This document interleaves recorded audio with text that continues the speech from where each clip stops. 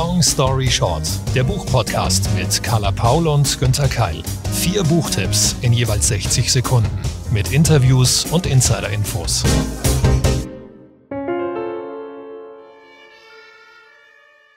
Herzlich willkommen bei Long Story Short.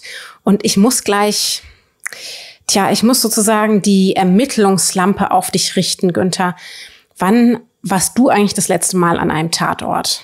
Oh Gott. Literarisch gesehen natürlich. Ja, ja, von wegen literarisch gesehen. Nur ich fühle mich hier schon wie in einer schlimmen Verhörsituation, als ob hier das Licht auch bei mir gleich ausgegangen ist und nur noch ja dein Scheinwerfer auf mich gerichtet wird auf einem an einem Tatort literarisch. Also literarisch fast täglich, muss ich sagen. Das, das passiert dauernd, nachdem ich ja auch gut gemachte Krimis liebe.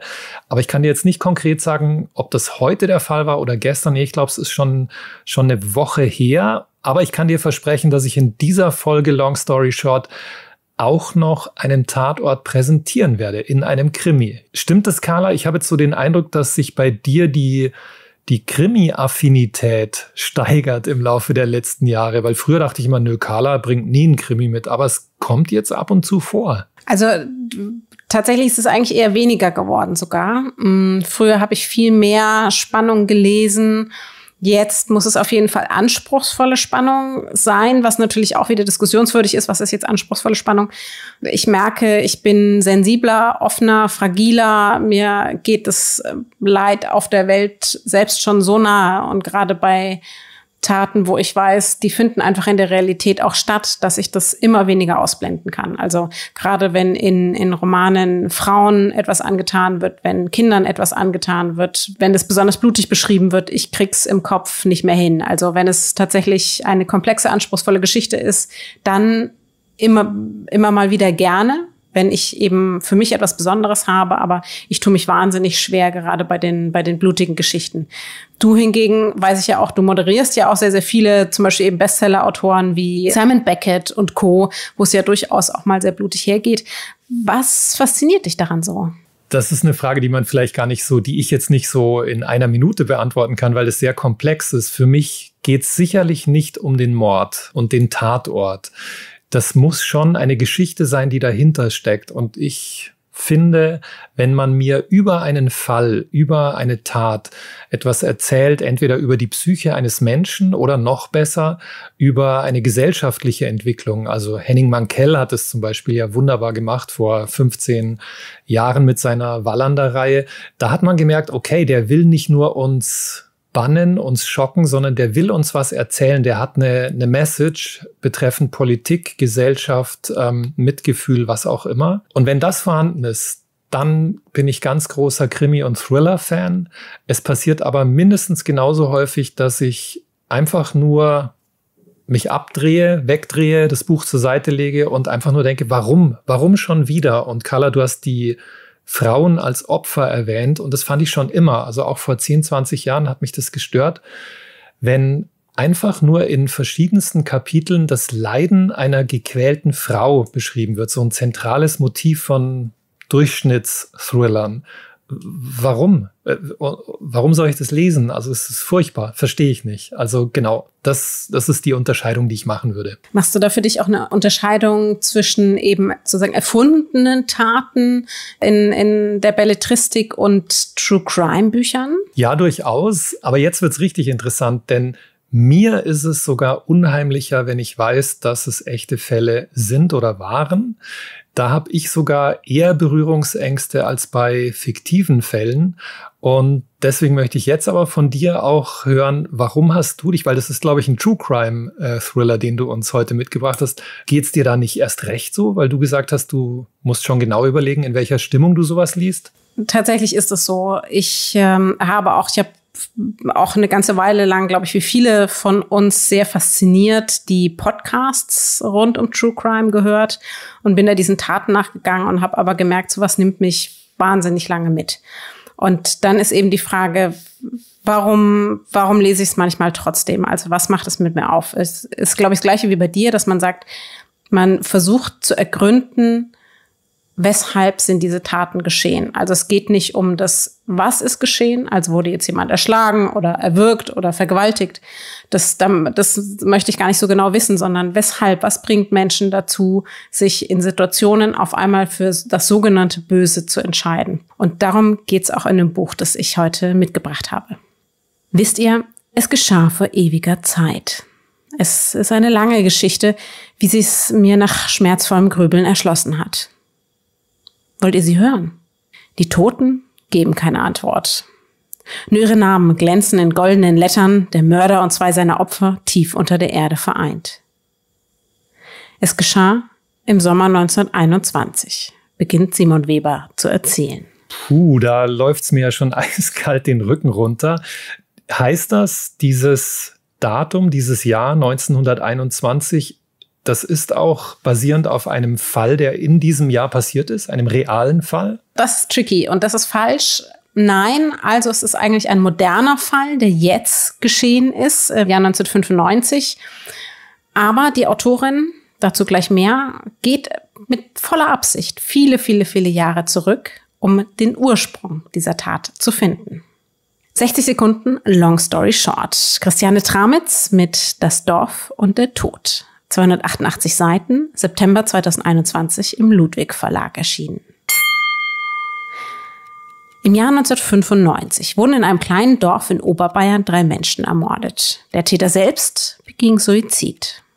Die Verhaltensforscherin und Autorin Christiane Trametz geht diesem Fall nach, der in ihrem Geburtsort stattfand. Sie spürt die eigentliche Ursache der tödlichen Entwicklung viele Jahrzehnte und zwei Generationen früher auf. Welche Ereignisse führen zu so viel Hass, dass dieser noch nach all den Jahren einen derart grausamen Mord auslösen kann? Spannend und fast zu poetisch erzählt uns Tramitz von einem jungen Mädchen und einer großen Liebe, die so furchtbar schief ging, die durch verschiedenste Entscheidungen und gesellschaftliche Strukturen so schmerzlich zerstört wurde, dass ein Mann weit später zum Mörder wird. Das Wissen der Autorin um das menschliche Verhalten im Guten wie im Allerschlechtesten ist hier auf jeder Seite lesbar und macht diesen Kriminalroman so spannend. Wir erkennen erneut, das Böse, es ist in uns allen. Es wächst und wird genährt, es hält Gründe und erntet seine Opfer. Das hast du schön weise zusammengefasst und ich habe schon ein bisschen geschluckt. Auf der einen Seite klingt das ja wirklich furchtbar, auf der anderen Seite Leider wahrscheinlich auch zu spannend, um es nicht zu lesen. Mir ging es allerdings so, ich hatte so eine Assoziation und das Gefühl, ich kenne doch die Geschichte und Oberbayern. Du kennst sicher auch noch den Bestseller Tannöd, oder? Von Andrea Maria Schenkel. Genau. Ja, klar, hatte ich auch sofort im, im Hinterkopf. Das war damals der Fall vom Hof hinter Kaifek. Tatsächlich kann Tramitz hier mehr als mithalten aus meiner Sicht. Der ähm, Band von, von Tannöd, das war ja ein sehr, sehr dünnes Bändchen. Tramitz nimmt sich hier sehr viel mehr Zeit, nimmt sich sehr viel mehr Seiten, geht damit auch dankbarerweise wirklich noch mehr in die Tiefe. Sie bringt noch mehr Hintergrund und Analyse bei gleichzeitiger Spannung. Das ist am Anfang fast zu poetisch erzählt. Also sie schafft es tatsächlich, dieses Kill Your Darlings, diesen Moment, wenn sich diese Liebe aufbaut und wenn wir erfahren, was ist eigentlich 1921 erfahren, mm, da ist, ist einem das natürlich noch nicht klar, wie kann das so schief gehen? Und das baut sie Stück für Stück, Kapitel für Kapitel auf. Wir wissen, was dann geschah, aber eben noch nicht, warum. Steht diese Geschichte für dich typisch für das, was ja die Statistik sagt, dass die meisten Morde tatsächlich in Beziehungen passieren? Kann man sagen, das passt genau dazu? Dazu möchte ich mich natürlich aus Spannungsgründen nicht äußern, aber tatsächlich ist das so. Ich glaube, die Krimis selber spiegeln das selten wieder. Auch wenn man sich ansieht, zum Beispiel auf der Insel Sylt, auf der ich oft bin, da haben die Krimis, die darüber geschrieben werden, mit der Realität überhaupt nichts zu tun. Außerdem blendet, glaube ich, unsere Gesellschaft das ganz gerne oft aus, dass eigentlich der eigene Haushalt für, gerade für Frauen, die größte Gefahr darstellt. Und deswegen wird das oft im Außen gesucht. Wie es jetzt bei Das Dorf und der Tod ist, das, lieber Günther, darfst du wie immer selbst lesen.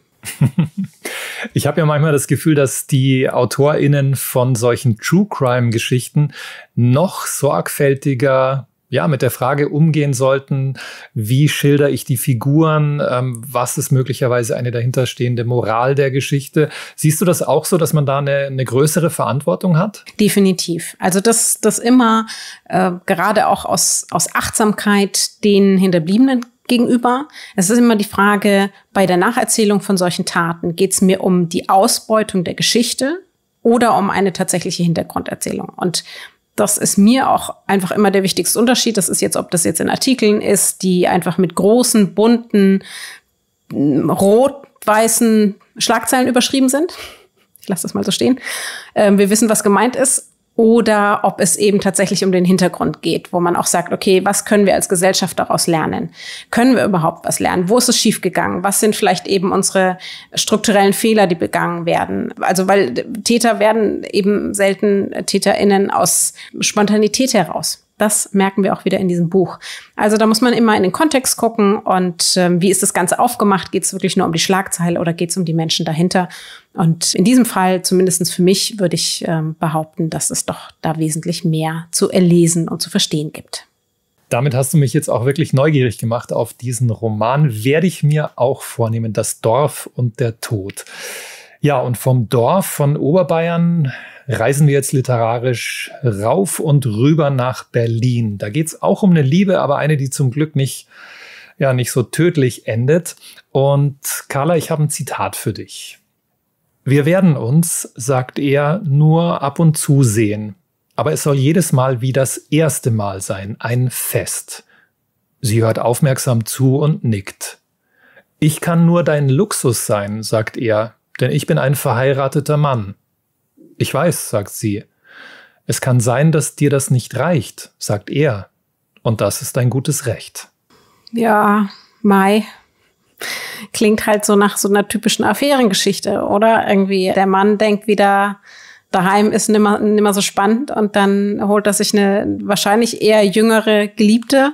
Steckt da mehr dahinter? Auf jeden Fall. Du hast zwar sehr recht, mit, mit deiner sehr kritischen ersten Stellungnahme. Klar, es ist wieder typisch Mann. Der alte Mann, der sagt, ähm, ja, super, wenn ich da noch eine Junge nebenbei habe, aber natürlich kann es bei Jenny Erpenbeck, dieser Autorin, nicht so einfach sein. Da steckt viel mehr dahinter und was genau, das verrate ich jetzt. 60 Sekunden Long Story Short für Kairos von Jenny Erpenbeck, erschienen im Penguin Verlag. Diesen Tag im Sommer 1986 werden Katharina und Hans nie vergessen.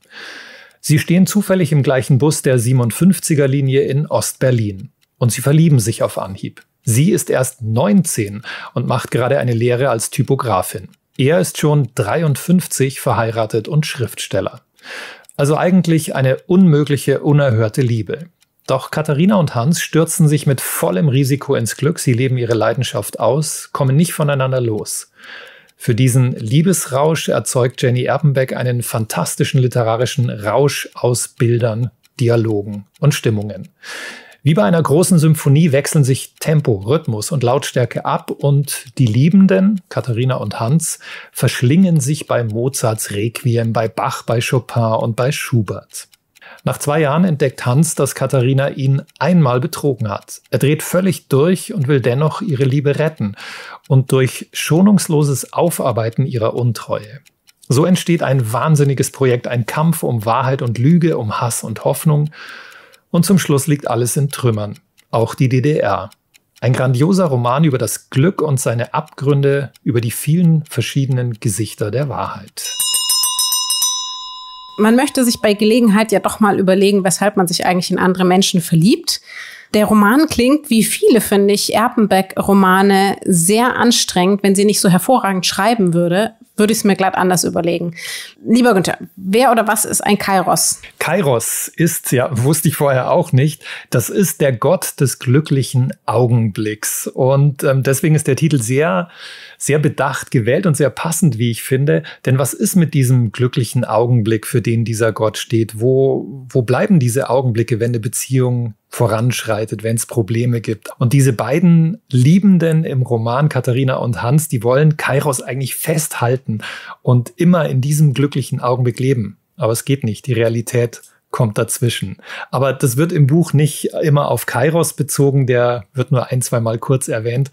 Aber ich finde es einen schönen Titel dafür. Und äh, jetzt muss man sagen, wer es gerade nicht vor sich liegen hat, liebe ZuhörerInnen, das Cover selbst finde ich auch spannend. Das ist nämlich eigentlich komplett weiß und es ist nur ein alter, halb geöffneter Karton darauf zu sehen. Wie passt das jetzt zur Beziehungsgeschichte?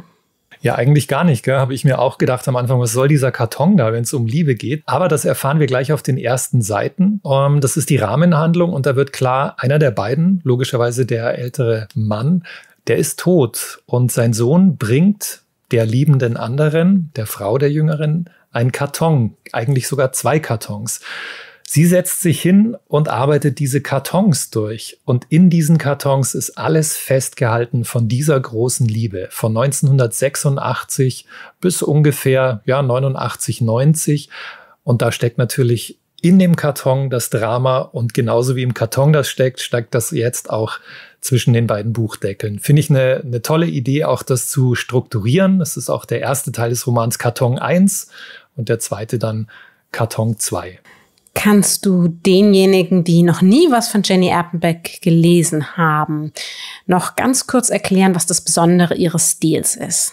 Ja, das ist ähm, wirklich was sehr Literarisches, was Poetische, auch ja, poetische Abgründe könnte man fast sagen, weil es ist sehr schön geschrieben, aber es ist so, dass man oft auch nachdenklich wird. Sie ist eine große Wortakrobatin und Künstlerin und sie hat ja auch Erzählungen, Theaterstücke geschrieben. Ich habe manchmal auch das Gefühl, es ist wie ein, wie ein wirklich hervorragend rausgearbeiteter Theaterdialog auf den Seiten. Sie hat eine erstaunliche Erzähllust, gerade in diesem Roman. Man merkt, sie will da wirklich ähm, schöne Worte finden, klasse Formulierungen. Aber wie immer bei, bei großen Schriftstellerinnen muss man das selber erlesen, erfahren. Da finde ich, kann man nur kurz schwärmen, so wie ich es jetzt gemacht habe, und dann könnt ihr euch überlegen, glaube ich es ihm? Wird es mir auch so gehen? Und dann bitte probieren. Im Notfall einfach in der Lieblingsbuchhandlung vor Ort mal kurz reinlesen. Von einer deutschen Autorin zur nächsten. Ich habe heute einen Backlist-Tipp mitgebracht von Verena Güntner. Long story short, Verena Güntner mit Power, ursprünglich erschienen im Dumont Verlag, im Taschenbuch jetzt im Penguin Verlag, 254 Seiten. Der Hund Power ist verschwunden. Die elfjährige Kerze möchte sich darum kümmern, dass ihre ältere Nachbarin Hitchke ihn wiederfindet und macht sich mit Hilfe einiger Fotos auf die Suche. Sie wird immer ehrgeiziger und geht den Menschen im Ort so lange auf die Nerven, bis sich die ersten anderen Kinder anschließen. Bald werden es immer mehr. Wie der Rattenfänger von Hameln zieht die kleine Kerze schließlich mit allen in den Wald. Sie sagen sich los von den Erwachsenen, sie werden selbst zu Tieren, akzeptieren die gesellschaftlichen Regeln nicht mehr Sie bauen eine neue kleine Gesellschaft in der Wildnis auf. Sie wollen das durchziehen, bis Power wieder da ist. Wie gehen die Erwachsenen um mit dieser Entscheidung der Kinder, auf einmal alles anders machen zu wollen, sich dem geschaffenen System zu verweigern? Die vermeintliche Rettung von alt gegen jung, von immer so gegen heute neu, muss für sie durchgezogen werden mit allen Mitteln. Zur Not eben mit Gewalt. Autorin Günther schafft hier einen spannend umgesetzten Vergleich zur aktuellen Gesellschaftslage und stellt die Handlung Fragen an die Lesenden. Völlig zu Recht nominiert mit dem Preis der Leipziger Buchmesse, hochgelobt vom Feuilleton und für mich ein wichtiger Roman zu den entscheidendsten Themen dieses Landes. Da hast du sicher recht, Carla. Aber wichtigste Frage zuerst, überlebt der Hund? Ah, ich kann nichts sagen, Günther. Ich kann nichts sagen. Äh, Ach komm. Das, also das geht, geht wirklich nicht. Stell doch lieber mal eine andere Frage. Zum Beispiel, aha, diese Kerze, die erinnert mich doch ein bisschen an äh, Greta Thunberg. Aha, sind wir jetzt schon so weit, dass du mir meine Fragen in den Mund legst, oder? Ich möchte nur von dieser Hundegeschichte ablenken. Ich möchte wirklich, wirklich, wirklich von dieser Hundegeschichte ablenken. Also an alle unsere HörerInnen, ich vermute ja einfach, dass Carla gar kein Buch lesen und empfehlen kann, in dem ein Hund nicht überlebt. Aber okay, nochmal zur Greta. Könnte es also wirklich sein, dass Verena Güntner tatsächlich Greta Thunberg im Kopf hatte, im Herz hatte, als sie diesen Roman geschrieben hat? Jetzt muss ich sagen, du kennst den Roman ja auch, du hast ihn auch gelesen. Für mich war das sofort total klar, dass, dass das wird aber auch viel gedeutet vom Feuilleton, dass es darum geht, eben es ist ein, ein reduziertes Bild von dem, was da gerade passiert, die Generationen gegeneinander. Wir haben eine junge Heldin, die sagt, oder die erst überhaupt nicht auf die Idee kommt, es so zu machen wie die Erwachsenen und ihren eigenen Weg geht. Und da schließen sich eben viele Kinder an, viele Kinder, viele Jugendliche, die eben sagen, okay, mir fehlt diese ganze Altlast an Emotionen, an Traditionen, an Herangehensweisen, wie es die Erwachsenen machen. Ja, lass es uns doch mal so machen. Und dem entgegengestellt werden dann eben die Erwachsenen, die geradezu mit Wut reagieren auf diese Kinder und allein auf diesen Affront, dass sie eben nicht sagen, so wie wir es bisher gemacht haben, ist es gut. Das erleben wir ja aktuell einfach jeden Tag. Da geht es nicht nur um die Umweltgeschichte, sondern auch um alle anderen gesellschaftlichen Aspekte. Und das hat sie, finde ich, eben in dieser reduzierten Form, in diesem Ort mit ähm, der Kerze gegen die anderen wirklich, wirklich gut aufgeschrieben. Ich fand das sehr spannend. Für mich ist das relativ klar, aber eben auch deswegen so toll, weil es so komplex ist und weil man so gut drüber diskutieren kann. Wie hast du es empfunden? Was würdest du interpretieren? Ja, sehr ähnlich. Ähm, das Entscheidende für mich war auch, wie du gerade gesagt hast, komplex und trotzdem reduziert. 254 Seiten. Äh, dafür hatte ich auch das Gefühl, ich bin da schnell durch. Ich werde sogar richtig mitge mitgerissen. Aber jetzt können wir natürlich auch wieder nicht den Schluss verraten. Ich habe zum Schluss schon so ein paar Fragezeichen gehabt. Und deswegen gilt eigentlich das, was du gesagt hast, das ist eine super Diskussionsgrundlage, die zu aktuellen Themen führt und Entwicklungen. Ja, aber da muss ich jetzt ein bisschen im Wagen bleiben, weil sonst ist der Schluss verraten. Genau, aber das macht es für mich auch aus. Also bei, bei manchen Romanen brauche ich ein klares Ende. Dann wiederum finde ich bei ihr war es für mich das richtige Ende, so wie es eben war. Und gerade das, also nochmal so als Stilaufforderung sozusagen, wir sind uns uneins über das Ende und deswegen gehen wir darüber hinaus ins Gespräch. Und ich glaube, das ist es ja auch, was sie damit erreichen will. Ähm, sie möchte, dass wir uns über die Generation, über die Einstellung hinaus zusammensetzen, dass wir es diskutieren, dass wir auch mal ein Gefühl bekommen für das Gegenüber. Das erreicht sie mit diesem Roman. Und am Schluss, glaube ich, geht es eher darum, dass jeder von uns eine eigene Entscheidung trifft. Und das gilt sowohl für den Roman als natürlich dann auch im richtigen Leben. Und das ist für mich eben deswegen so ein gutes Buch, weil das alles mitbringt. Das hat Unterhaltung, das hat Spannung, das hat einen gesellschaftlich komplexen Hintergrund, der aber dennoch reduziert wird. Ähm, das macht Spaß. Ich habe wieder Neues entdeckt, nicht nur über mich, sondern auch über andere. Also da ist für mich alles drin. Deswegen große, große Backlist-Liebe. Absolut, genau. Und da kann man ruhig beim Finale dann auch anderer Meinung sein. Jetzt wird's noch spannender, ja, kann man eigentlich sagen. Und ihr erinnert euch vielleicht, am Anfang dieser Folge haben wir noch einen Krimi versprochen. Und hier ist er, 60 Sekunden. Long story short für Jan Kostin Wagner. Sakari lernt durch Wände zu gehen. Im Original erschienen bei Galliani, jetzt im Taschenbuch bei Goldmann. Die melancholische Stimmung, das verständnisvolle Grundgefühl und die poetische Sprache prägen Jan Kostin Wagners Bücher. Seine Bücher um den finnischen Polizisten Kimmo Juentaa wurden vielfach ausgezeichnet. Auch dieser sechste Fall. Die Story. Auf dem Marktplatz von Turku wird ein junger Mann namens Sakari von einem Polizisten erschossen. Er war nackt und mit einem Messer bewaffnet in einen Brunnen gestiegen, offenbar verwirrt. Warum nur? Juentaa möchte die Hintergründe aufklären, also befragt er Eltern, Geschwister, Freunde und Nachbarn. Sie berichten, dass Sakari vor vier Jahren einen Motorradunfall hatte, bei dem seine Freundin starb. Ein traumatischer Vorfall, der eine Erklärung für das Abdriften des jungen Mannes gibt. Bei Jan Kostin Wagner geht's immer um Trauer und Verlust. Seine Figuren suchen nach Halt und Trost, nach furchtbaren Erlebnissen. Und der einfühlsame Kimmo Juenta ist der Mann, der trösten kann. Wagner beschreibt seine Hauptfigur mit zarten, traurigen Sätzen und treibt seine Handlung in einer leise lodernden Sprache voran. So entsteht eine Art sanfter Rausch, eine ganz besondere Atmosphäre. Das klingt gut, aber ehrlich gesagt, es gibt so, so, so viele hunderte, gefühlt tausende Spannungsbücher aus dem Norden. Inwiefern sticht Jan Kostin Wagner daraus? Sehr stark sticht heraus. Also wirklich mit den, mit dem Mainstream ähm, Schweden oder Norwegen Thriller hat das überhaupt nichts zu tun. Das ist eine ganz eigene Kategorie. Das ist leise, das ist durchdacht. Ich empfehle das wirklich auch ähm, HörerInnen, die sonst keine Krimis lesen. Klar, es gibt einen Fall, klar, es gibt Ermittlungen, aber das ist eine Sprache, die ja, die wirklich zurückgezogen ist, die ähm, mitfühlend ist.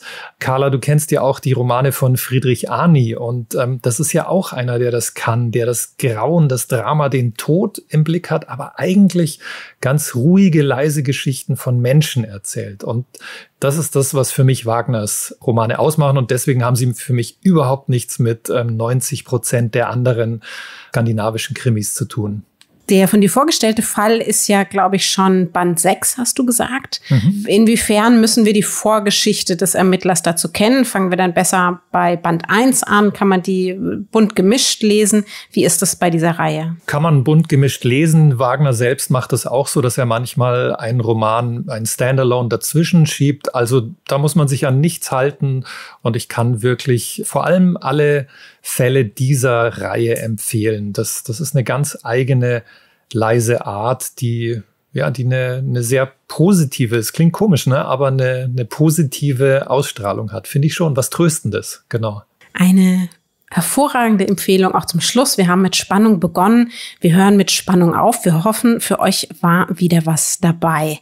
Denn das war es jetzt wieder mit Long Story Short für heute. Alle Links und Informationen zu den bisherigen Folgen sowie natürlich zu den dazugehörigen Büchern findet ihr auf www.longstoryshort-podcast.de. Und die Warnung zu Risiken und Nebenwirkungen, lest den Klappentext und fragt eure LieblingsbuchhändlerInnen vor Ort. Falls ihr noch mehr Tipps braucht, andere Empfehlungen vielleicht, falls ihr uns kritisieren oder loben wollt, dann findet ihr uns auf den jeweiligen Podcast-Plattformen als auch natürlich auf Facebook, Twitter, Instagram und Co.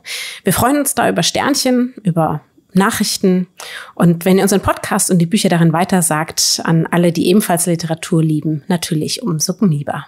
Long Story Short ist eine Kooperation zwischen Carla Paul, Günter Keil und der Penguin Random House Verlagsgruppe. Happy Reading! Zum Schluss möchte ich euch noch den Podcast meiner Kolleginnen Bettina Billerbeck und Anne Zuber ans Herz legen. Worum es bei den beiden geht, das erzählen sie euch am besten selbst. Hallo, mein Name ist Bettina Billerbeck. In meinem Podcast So Far So Good geht es ums Wohnen, denn wir sind von Schöner Wohnen. Wir, das sind Bettina Billerbeck und ich bin Anne Zuber. Anne kennen viele wahrscheinlich von ihrer Kolumne Das gewohnte Leben bei uns im Heft. Und wir reden eigentlich so über die großen Einrichtungsfragen. Es geht auch viel ums Zusammenleben bei uns. Hört doch mal rein, So Far So Good auf Audio Now und überall, wo es Podcasts gibt.